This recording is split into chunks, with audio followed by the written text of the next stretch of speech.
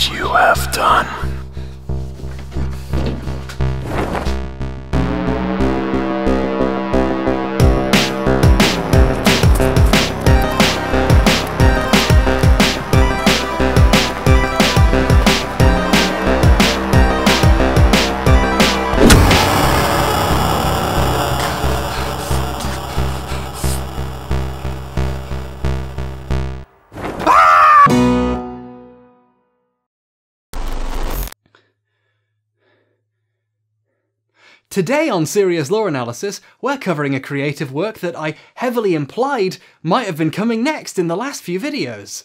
And that's right, today we're covering the Control Alt Delete webcomic and animated series. In retrospect, I think I might have made it too obvious. For those of you too young to remember the early days of the world, before we had the internet and hadn't yet achieved the dream of having to argue with Holocaust deniers all day, humans would amuse themselves by painting stuff on the walls of their caves or later drawing it onto paper or canvas. These scribbles became known as art. Eventually, however, humans evolved past this bullshit and realized you could divide up your space into smaller subspaces called parnels, and then use that to create several sequential images, which when read in order could tell a story. This sequence art later became known as comics, for reasons we forgot because it doesn't matter. Fast forward to the late 90s and early 2000s where we played video games and things were finally good. Then people who enjoyed video games gained access to the internet. But because they didn't yet have the bandwidth to play most games online or watch puppy compilations all day and argue in the comments about 9-11, people instead would amuse themselves online by using webcomics, also known as digital versions of comics that you find on the web. And since the bar for publishing onto the internet was as low as being able to afford server hosting, or even lower if you used a free website, people were finally free to create comics for as small or niche an audience as they liked without any need for mass market appeal, or the production costs of ink and paper and printing. Or, um, quality. Enter the gaming webcomic, a form of webcomic centering around jokes about games and gaming culture. The most popular of these was Penny Arcade, a comic still going to this day, rife with hilarious and well thought out humour. Don't stake me, bro! hilarious! It's just like the thing! Uh, with the guy! The bedrock of this type of comic tends to feature several characters, often representative of the authors, sitting on a couch making hilarious jokes about video games that are out right now, or inside the fiction of a video game interacting with it to hilarious consequences. These two forms were the bedrock of many early gaming webcomics from the late 90s to the early 2000s, and there were many successful comics using this format, like Penny Arcade, PvP, Little Gamers, Bob and George, 8-Bit Theatre, and others. All tremendous pieces of art with a lot to say about games and how bad it is that our games are being usurped by money men, and how funny it would be if you died in a way a lot big, uh, like it's just like in the game. But for every one of these comics, there were dozens of poor imitators out to replicate their popularity and profit by reusing the same tropes. An explosion in the gaming webcomic had begun, and it would continue for over a decade. Enter Tim Buckley with his own webcomic, Control Alt Delete, often referred to as CAD. CAD isn't like the other webcomics. It's not art. It doesn't have value or meaning. It's trash, and it doesn't say anything at all. It's full of worthless jokes where the punchline is violence. It's not like Penny Arcade. CAD is the story of Ethan, a character who looks suspiciously like how Buckley draws himself. Ethan and his roommate Lucas talk about video games and occasionally are inside the games where something bad happens to them or people they don't like. Wow, that's original. Let's compare and contrast this with a good comic, shall we? In this 2002 page from Penny Arcade, the author insert characters burn a voodoo doll, hurting George Romero. Oh my god, look how much better these guys are, this is great. Meanwhile, look over here at CAD in the slow lane for idiots. Using violence as a punchline? What a stupid thing to put in a comic! Over time, CAD stopped even trying to tell jokes, and it started spending more and more time exploring the personal lives and development of its characters. The main characters, Ethan and Lucas, went on dates, moved apartments, made and lost friends, and started long-term relationships. Ethan quickly meets and begins dating Lilah, a girl who plays video games, which as we all know is like finding a unicorn. And, like all girls who do play games, it's her only character trait. The two inexplicably fall in love even though Ethan has nothing to offer anyone and is basically unlikable. It's pretty clear from reading this that Buckley doesn't know how human relationships work. You could almost point out that this almost says something about how people who play video games a lot view human relationships, but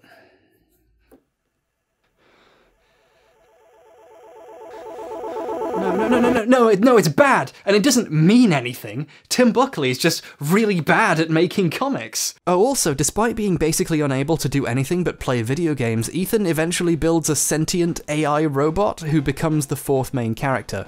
Zeke exists to occasionally joke about how humans are made of meat and bad and he's better than them. It's clearly inspired by characters like HK-47 from KOTOR or Bender from Futurama, but there's no actual jokes here. It's what I like to call a joke by association. It's not really a joke, it's just a vague gesture in the direction of a joke that you might remember from somewhere else. Somewhere else. I'm, I'm somewhere somewhere else.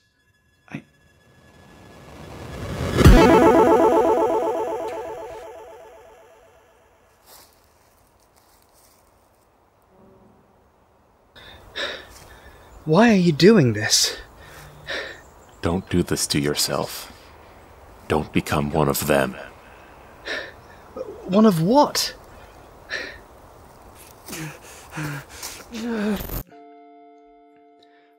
The worst thing about this comic is that it doesn't know what it wants to be.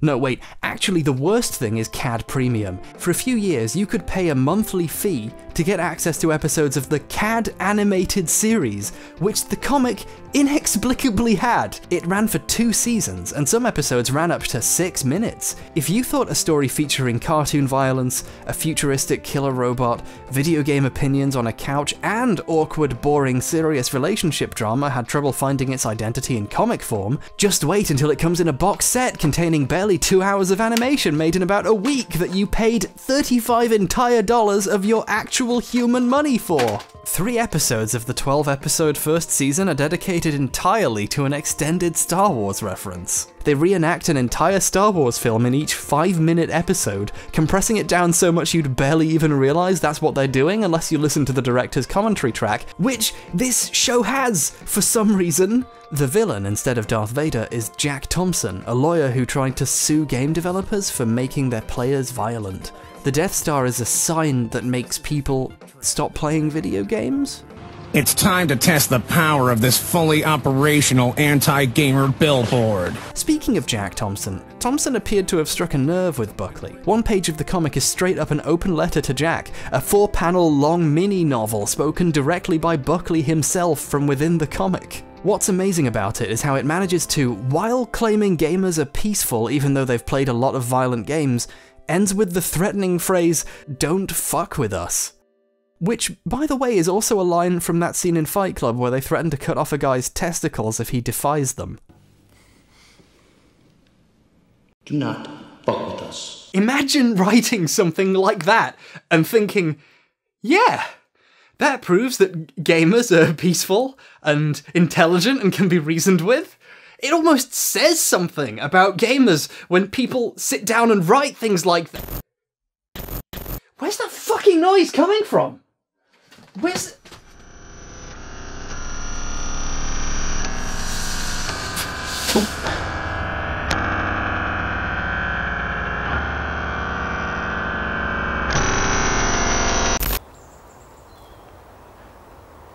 Don't you think you might be reading a little too much into it? About what a bad comic that sucks might say?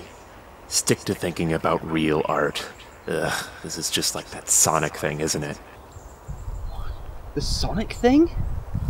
You're overthinking a blue hedgehog, man. Why can't you be objective? Why can't you talk about the level design and mechanics instead? You could be talking about how Mario 1 1 teaches you how to play it. But it's not just a hedgehog, is it? I mean, it's animals fighting a developed machine empire. Like, there's, there's very, very obvious themes going on here. A discussion of ecology versus technology. If you want to talk about how great nature is and how bad technology is, why don't you go live in the woods? You wouldn't do that though, would you? You wouldn't have your precious lattes to drink while you complain on your iPhone about capitalism. I don't drink lattes. What the fuck are you talking about? By now, you've probably noticed a fairly strong contradiction in the comic between the crass, random, non canon of the many parts intended purely for no strings attached comedy, the serious parts where Buckley himself definitely doesn't personally threaten someone, and the actual serious lives of the main characters who have problems that don't go away. The comic keeps reverberating back and forth, going to further and further extremes. Sometimes you'd get a story where Lucas goes on a date with a woman who turns out to be fat, so he awkwardly pretends to be interested for uh, hilarious comedy, and then they go back to her place and it turns out she was only pretending to be fat as a test, and they start a relationship that lasts for five years of the comic? Then you'd get a chef character saying nonsense for a joke, and then something random happens. Or maybe you'd get the players, four characters whose whole deal is they murder each other in different ways over and over. Then it turns out Ethan's girlfriend is pregnant. Then they joke about what if the guns in the new Gears of War game were guns with trains instead of chainsaws? You snap back and forth so quickly, you get whiplash of the mind. The tension between the comic's supposed reality and meaningless comic fantasy world eventually snapped when, during a scene at Ethan's job where he's making a joke about consumers being stupid and not knowing as much about games as him, he gets a phone call. Lilah, the comedy video game girlfriend character, is in the hospital because she's had a miscarriage. This culminates in, perhaps, the most well known page of a comic in history.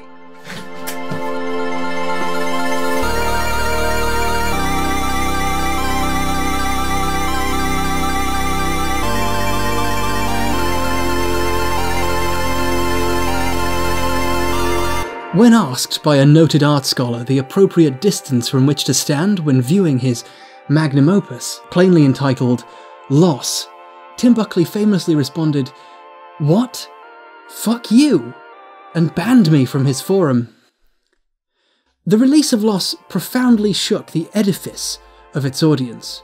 People were equal parts shocked, horrified, surprised, offended, and completely mystified.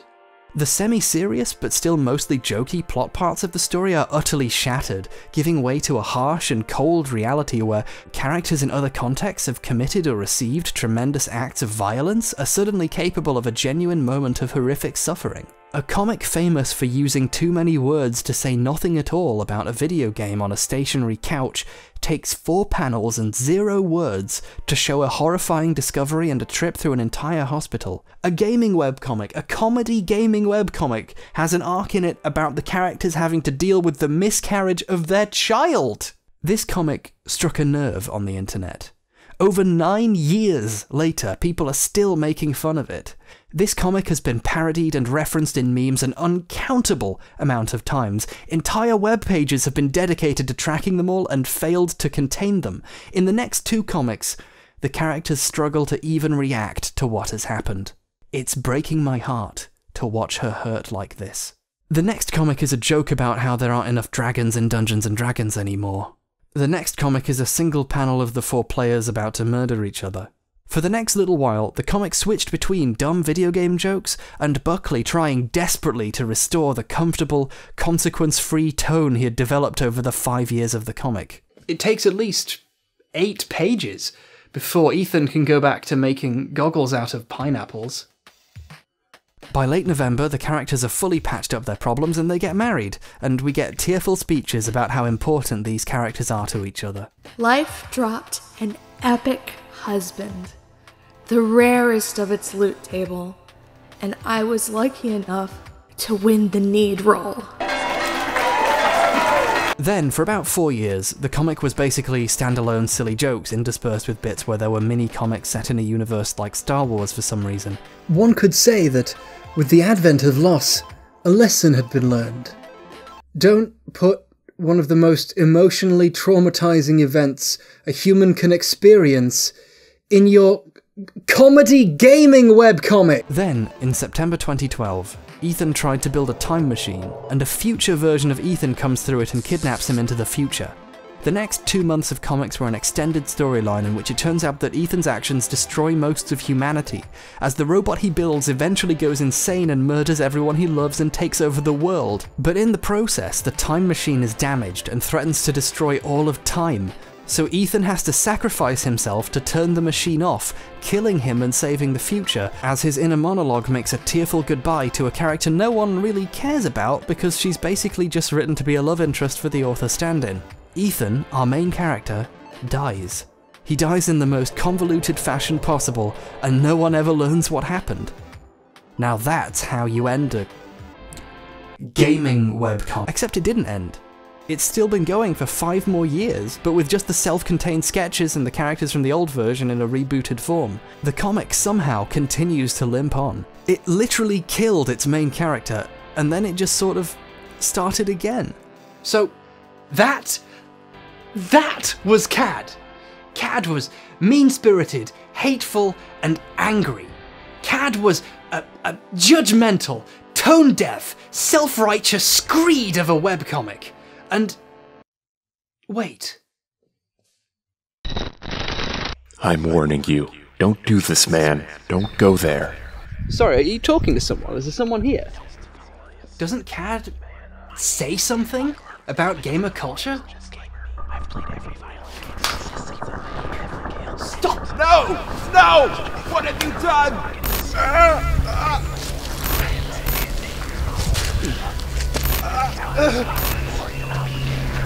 What's happening?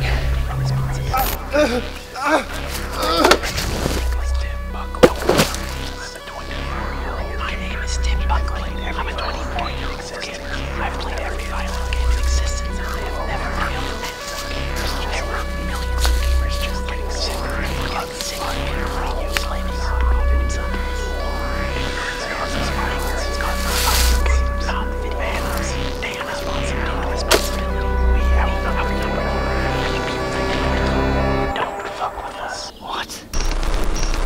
Hi, I'm Hareton Splimby, and welcome to. What the fuck is happening? Tommy Wiseau's infamous film, The Room, asks some really interesting questions about how we look at art. No, seriously, come on, stay with me here! In terms of pure filmmaking skill, of course, it's awful. The script is a nightmare, it's poorly edited, with random shots of San Francisco just kinda slammed in there. It has such below average shot composition and mise en scène that I actually feel bad for even saying those words, and the ADR is terrible too. Yeah, can I have a dozen red roses, please? Oh, hi, Johnny. I didn't know it was you. Here you go. That's me. How much is it? It'll be $18. Here you go. Keep the change. Hi, doggy. You're my favorite customer. Thanks a lot. Bye. It has a reputation for being a hilariously bad film everyone can laugh at for being bad. bad Made even more interesting by the incredibly weird performance of Wiseau. I fed up with this world. But I think, under the proper lens, the film has a little more to say to its audience than, look at me, I'm so bad.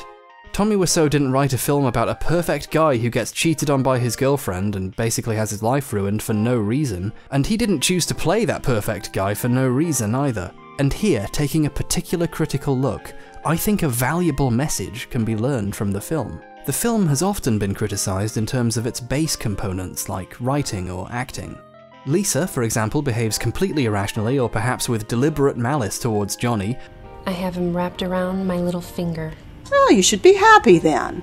But I don't love him. Suddenly falling out of love with him and cheating on him and then spreading lies about him for seemingly no reason.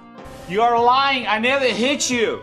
You are tearing me apart, Lisa. Why are you so hysterical? I contend here that Wiseau based the play script that would later become the film on an actual life experience, an actual breakup that really happened at some point in his life. I treat you like a princess. And you stabbed me in the back. I love you and I did anything for you to just please you. And now you betray me. How could you love it?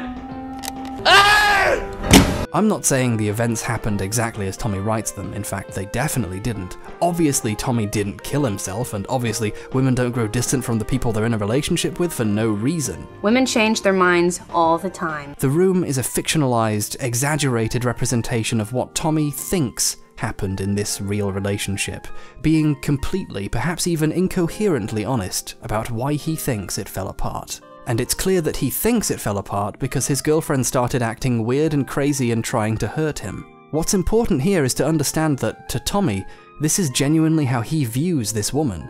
This character is to him an honest expression of that person. But there has to have been a real Lisa once, and her perspective, her side of the story, isn't told.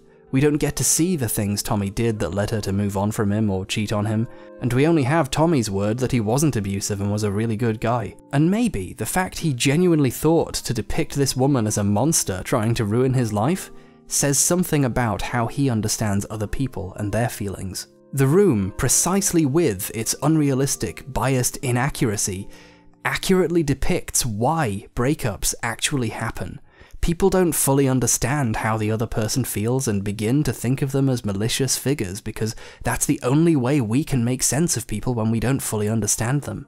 I've talked to plenty of guys about breakups, and very often you get the same old story just like this one, where their partner turned out to be a crazy bitch who just wanted to hurt them. But if you're ever lucky enough to hear the other side of a story like that, they're often just frustrated with people who can so easily view them like that if they have a few arguments. Wiseau tried to make a film about his breakup, but it turned out to be a film about his inability to understand why it happened. No. No. No. The Room is a filmed version of the real, heavily distorted perspective on breakups that many heterosexual men often have, and in many ways, when you look at the film this way, it serves as a call to action to learn to see past the Lisas we think we see and understand that relationships tend to fall apart for a reason, and we can learn to do better by seeing people for who they are. For all its actual flaws, and even because of some of its clearly deeply flawed misogynistic writing, the Room ends up being an actually valuable demonstration of the distorted ways people perceive relationships and how this eventually destroys them, better than any film made by, say, I don't know, any man actually working in Hollywood right now, especially the ones currently cashing in on the popularity of the room. Hi, I'm. Ah!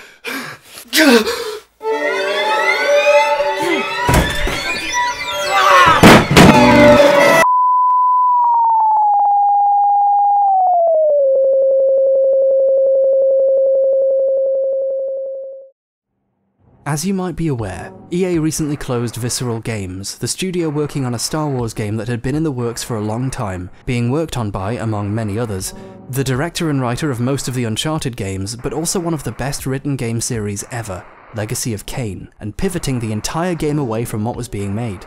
This update, posted on EA's website by Patrick Söderlund, Vice President of EA, cites fundamental shifts in the marketplace. Single-player linear experiences simply aren't profitable enough, at least compared to certain other recent kinds of experience that emphasize time investment and incentivize further transactions made over the course of a single product rather than a simple one-off purchase.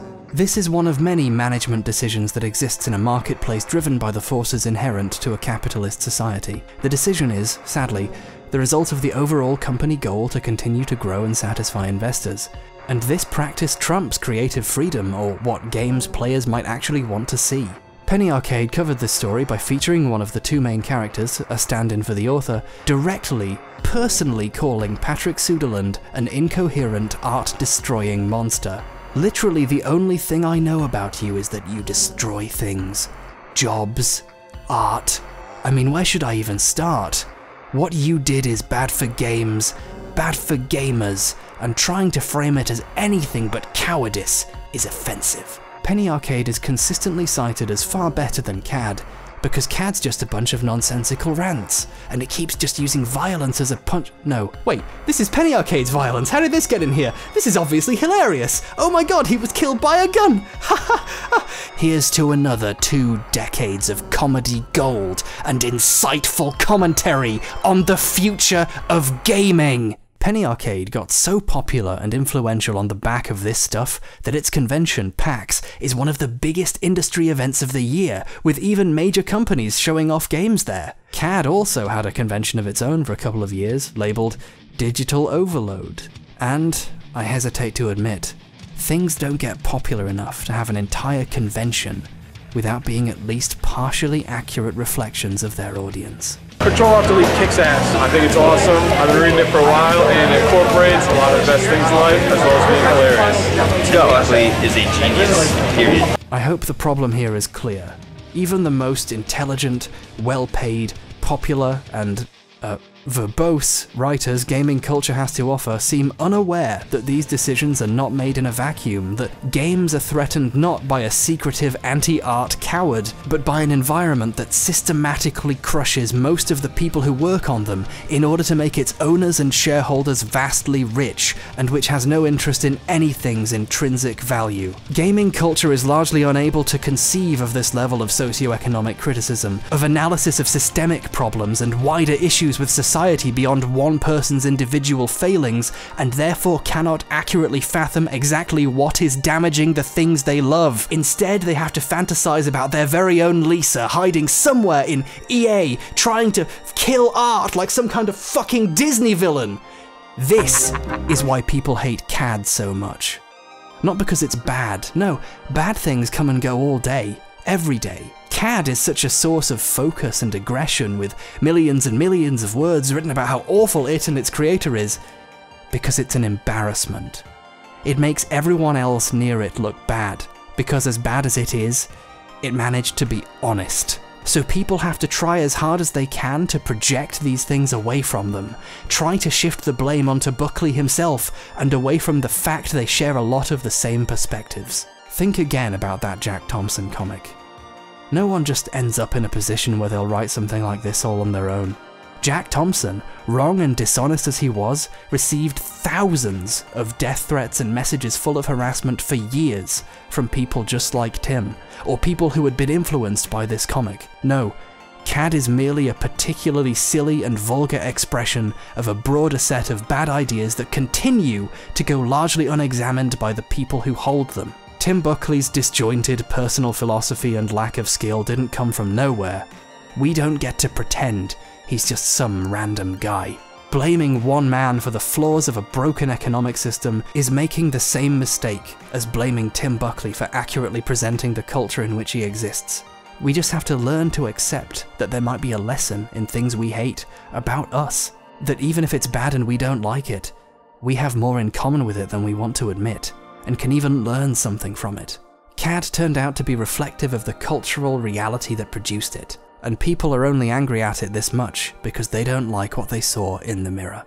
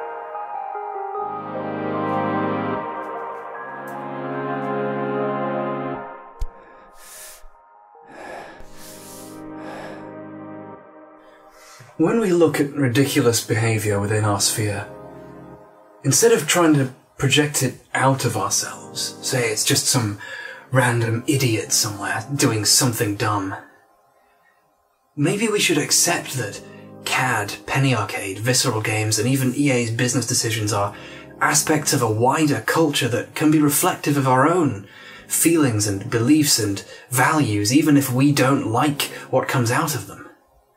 And maybe if we learn to criticize ourselves and change our own behavior, we can start to change the wider culture.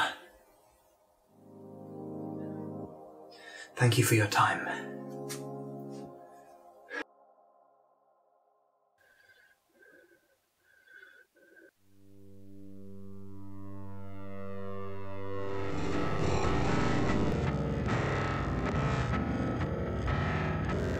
I must set aright that which has been made wrong.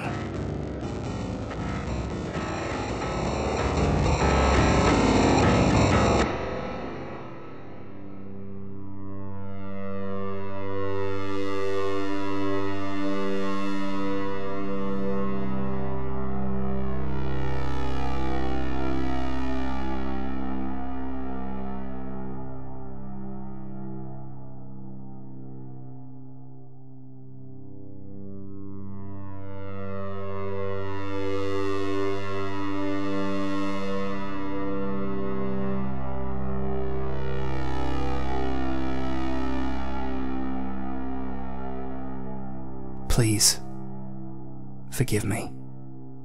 You are my world, my best friend, the love of my life. I promise. I promised. I would never hurt you. That I would never leave you.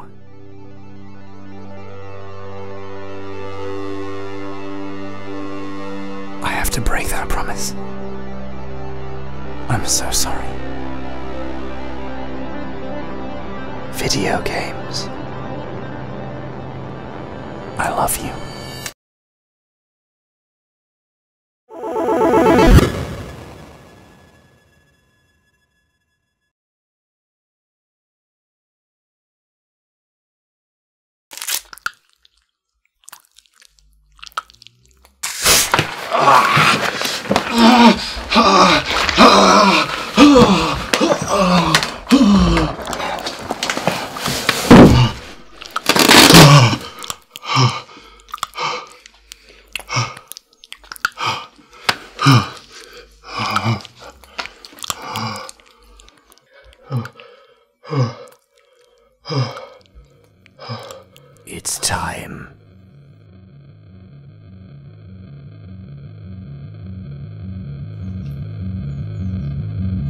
Yes.